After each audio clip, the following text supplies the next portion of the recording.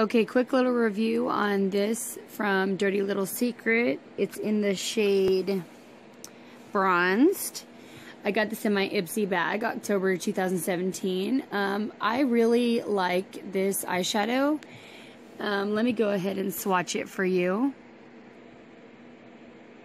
So this is what the swatch looks like. It's just a gorgeous bronze and I went ahead and did the single eyeshadow tutorial from Emily Noel 83 on my eyes so you guys would have a little bit of reference and this is how it turned out. The shadow is super easy to work with, just beautiful.